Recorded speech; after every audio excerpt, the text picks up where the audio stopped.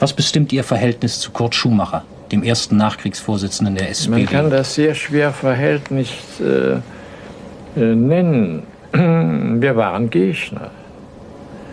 Und diese Gegnerschaft, die erwuchs nicht allein aus entgegengesetzten Anschauungen, sondern sie erwuchs auch daraus, dass Herr Dr. Schumacher nicht einsehen konnte, dass die Sozialdemokratie nicht die größte Partei geworden war. Ich erinnere mich noch, dass uns sie erst zusammengebracht hat der spätere Ministerpräsident von Niedersachsen Kopf. Kopf.